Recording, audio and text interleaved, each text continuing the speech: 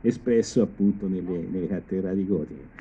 Ha ragione anche l'eretico quando eh, nota il, eh, diciamo, eh, l'indicazione di tutta una serie di simbologie che eh, appartengono a questo affresco, sullo sfondo del quale c'è probabilmente eh, rappresentata una citazione del Tempio di Salomone. E qui volevo aggiungere un'altra cosa proprio eh, sfruttando la presenza di Andrea Broci con il quale abbiamo condiviso una serie di eh, esperienze.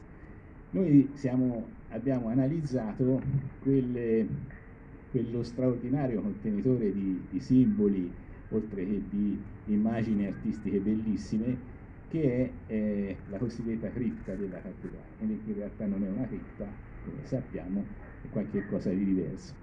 Questo ambiente eh, che è venuto alla luce 20 anni fa e dove eh, abbiamo ritrovato degli esempi di scuola senese del XIII secolo semplicemente straordinari. Eh, Però noi, a noi ha interessato perché eh, ci sono eh, una serie di simbologie che forse erano, non erano state notate dai, dai primi scopritori, eh, che hanno a che fare con eh, appunto l'apparato simbolico e, e, i modelli culturali degli antichi costruttori. Cioè noi riteniamo con eh, Andrea che questo luogo, questa pseudocripta, abbia funzionato per un certo periodo di tempo, in particolare quando fu deciso di non fare più il domo nuovo eh, e quindi fu abbandonato praticamente fu abbandonata questa impresa titanica. Fu eh, questo ambiente deve essere stato utilizzato come ripostiglio, come deposito di materiali e come loggia. Nel senso eh, diciamo eh, eh, che avevano queste maestranze nel XIII, XIV e XV secolo. C'è un, un quadro di Van Eyck eh, eh, che eh, rappresenta appunto molto bene questa, questa, situazione dove si vede appunto addossata a una eh, cattedrale un, eh, un, una specie di tettoia molto semplice nella quale appunto si conservavano gli strumenti, gli arnesi, ma nella quale anche le maestranze eh, si riunivano per diciamo, trattare i loro problemi. Di queste maestranze eh, noi abbiamo la sicurezza che moltissime sono legate appunto alle valli del nord, alle valli intorno a Lugano, Como, i famosissimi maestri Comacini, e abbiamo anche la sicurezza che si trattasse di nuclei familiari che di padre in figlio per secoli si trasferivano i segreti dell'arte muratoria, anche i segreti simbolici. Cosa abbiamo trovato eh, qua dentro? Abbiamo trovato due cose importanti. Ora, eh, una, una, ve la accenno io e di una ve ne parlerà eh, appunto eh, Andrea. Dentro e fuori.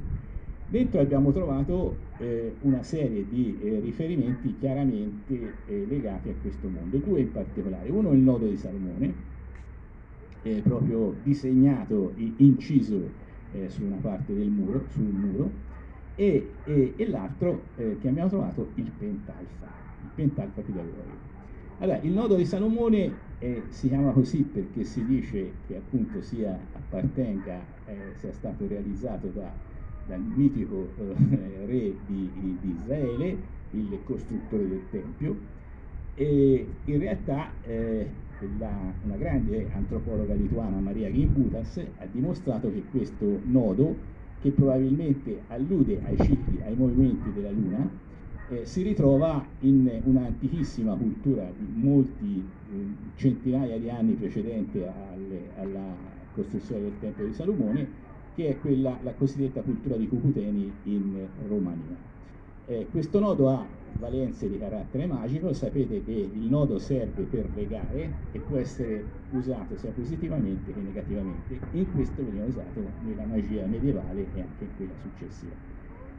La seconda cosa, secondo, la seconda citazione estremamente importante è il pentalfa pitagorico. Pentalfa vuol dire 5 alfa e rappresenta praticamente i quattro elementi di cui è composto l'uomo, l'universo, quindi la terra, l'acqua, l'aria e il fuoco, e il quinto, eh, che è, è, la punta delle, della stella, rappresenta appunto l'elemento spirituale.